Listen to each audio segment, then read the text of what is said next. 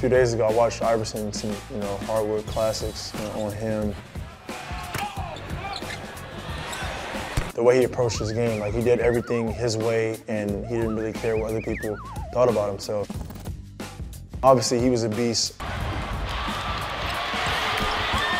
You know, and that's what makes him who he is. Undersized, but the heart of a lion. He got to the basket, he, you know, whoever was guarding him, you know, he made sure that he was gonna get a shot up and it was gonna be a really good shot and, and the shot that he wanted.